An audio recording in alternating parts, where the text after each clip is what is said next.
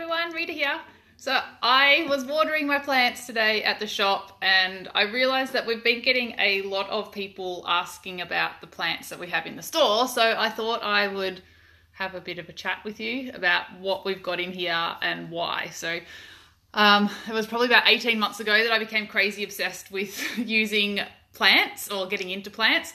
And my first number one tip for you is if you think that you're going to kill plants, and maybe you consider yourself a brown thumb or whatever that is, start really slow because I was looking for a distraction for something that was going on and I totally immersed myself in it and bought all the plants and it was very stressful and I didn't know how to look after them and they died and I got stressed and I thought I couldn't grow plants. So I want to give you um, a few tips on how to look after them that I've learnt since becoming a little bit not as plant obsessed as I used to be. I don't have time for it.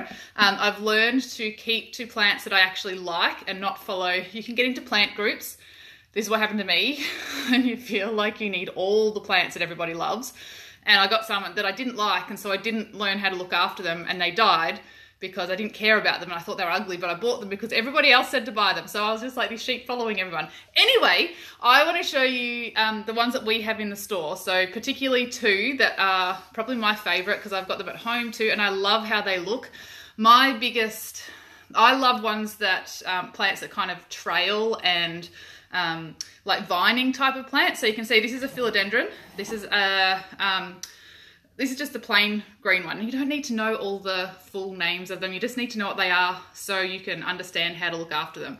All the plants that I have in here, just checking, have the same care needs. And that means that when I'm in here, I don't have to go, well, this one needs this and this one needs that and this and this. I've got, I think there's, I've got some mother-in-law's tongue, a monstera, and the rest are philodendron and um, pothos, which are these ones here. So, hey everyone. So I just wanted to show you, give you a couple of tips and give you some warnings as well because I went to Bunnings and I found this one here. Look, this is another, this is called a philodendron Brazil and this is my absolute favorite because it gets this really lovely, this is called variegation when you've got different colors on the, um, the leaves. So it would have a lighter color. So this, these I'm going to tell you about this one first, okay? I went into Bunnings, and this is absolutely like I love this plant. There's a woman called I don't remember her name, but she has Planterina on YouTube, and she has this plant in. It's just amazing. You hold it up, and it looks like this massive wave of these leaves, and it's amazing and beautiful. And I have plant envy, and I want that. So anyway, getting back to that, I went into Bunnings and I saw these. I actually grabbed two of them and two of these philodendrons and I brought them back here and unfortunately they seem to have brought in some gnats into the store which are I know they're little tiny they look like fruit flies but they're not. They're really annoying and if you don't get on top of them they will drive you insane. We had this issue at the last shop and I got through it so I want to give you a little tip with that.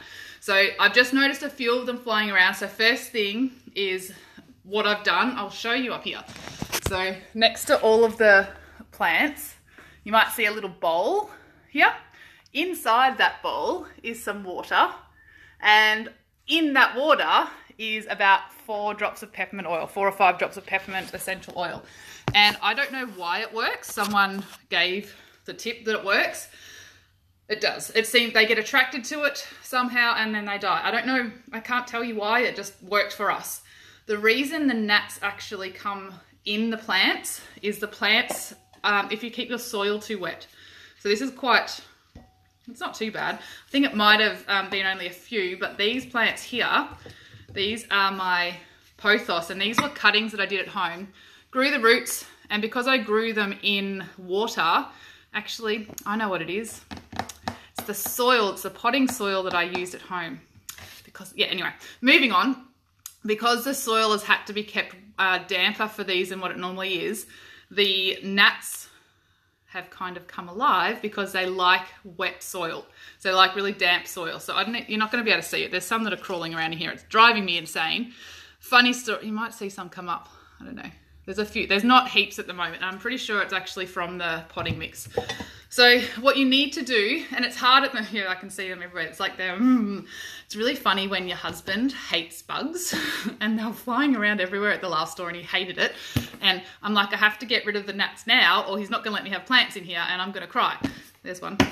Anyway, so what you do is you make sure that the plant's um, soil actually gets a chance to dry out because the gnats need the moisture. That's what they're attracted to. That's why I believe the peppermint in the water helps them because they're attracted to the water. I don't actually know, I'm making that up, but that's what I think.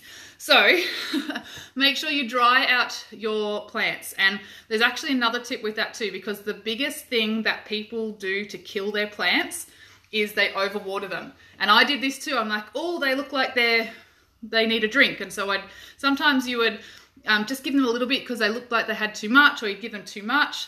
The best tip that I can also give you is, see how my plants, I've potted these into one of these ugly um, plastic pots that you'll get at the nursery. And then I've kept, I've actually got it in two pots here because we just got these really gorgeous pots in today. And I love them and I didn't want to sell them all, but I'm just hiding my pot in here. So if someone wants to buy it, I can take that plant out and keep it in another pot. What you don't want to do is these pots, the pretty pots, don't have a hole in the bottom, okay? They don't have a drainage hole.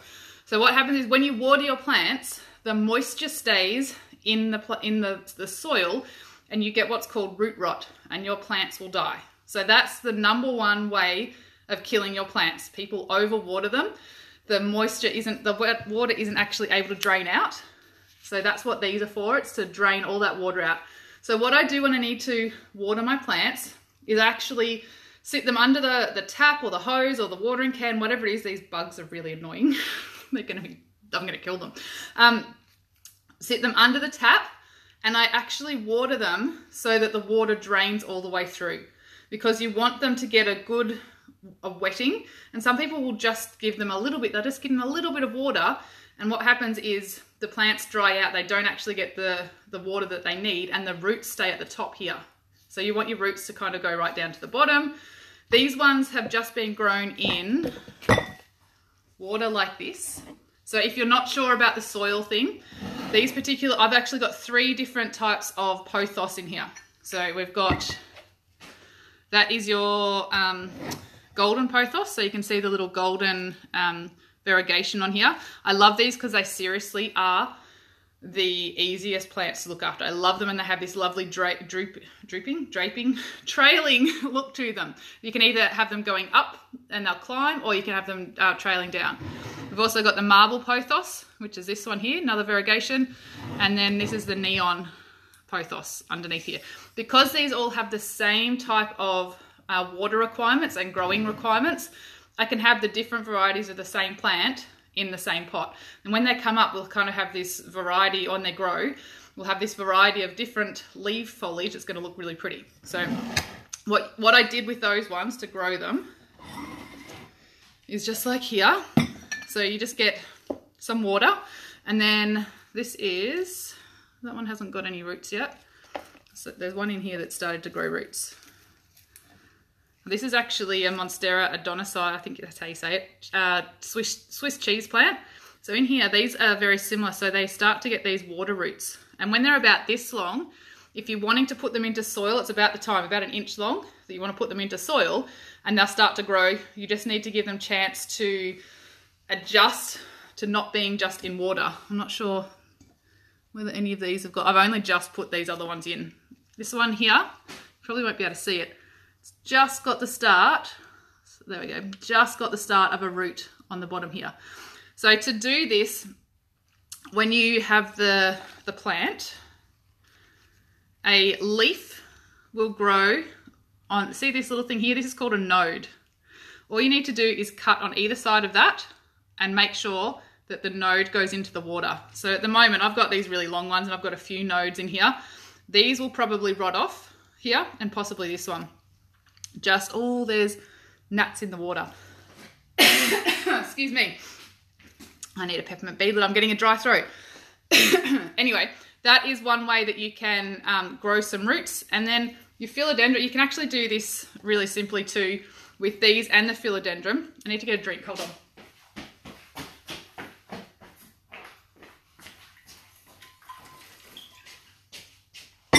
So same thing with your philodendrons is you cut so you've got this node here where the leaf is, just on either side there. And then you'll just put this section of the plant into the ground. So just that section into the the soil here. Getting a dry throat, sorry. I'm excited talking about plants. And they can root straight into the water. so that's just another little way that you can grow them. They are seriously the easiest plants to grow. And I'll show you what they can look like. oh man, this always happens when I do lives.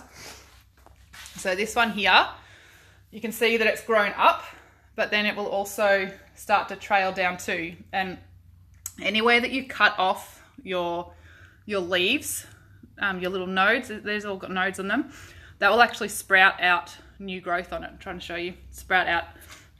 See if I can find one that I've cut.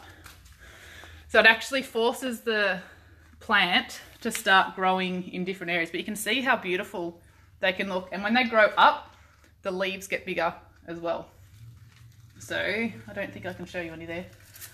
But I like to cut them. And the problem is when you love plants and you know how to propagate them in water, so that means grow your roots in water, you can cut stuff off your plants. and you're then like, oh, look, I can get free plants out of all of this. And you end up with lots and lots and lots of plants. So anyway, I just wanted to show you a few of them that are really, really simple um, to look after.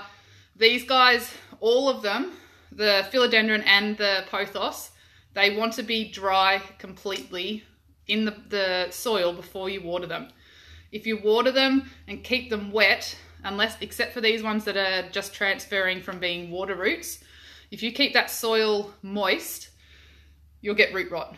So you need to make sure they're actually dry and it's it, like it literally gets bone dry and then I'll wet them full through and then leave them until they get bone dry again. I actually, um, I have some plants that I'll, as soon as it rains outside, they all go outside so they get the water on their leaves too. I don't really spritz the ones that are in here, but you can, you can mist them because these are tropical plants too. I'm getting a really irritated throat. Anyway, I hope that has kind of helped. I don't know whether I showed you the Brazil, my favorite one. I'm probably going to end up taking, I don't like this little plastic yucky thing. I'll probably take it off this and allow the plant to trail down. Um, same with this one. Because I think that for me, I just love like the trailing look. And when you come into the shop, you'll see that's what I do. Got the same out the front. Got some lovely sun tolerant plants that kind of trail down too. So hopefully you got some good tips with that. I'm going to go play with my plants. Bye.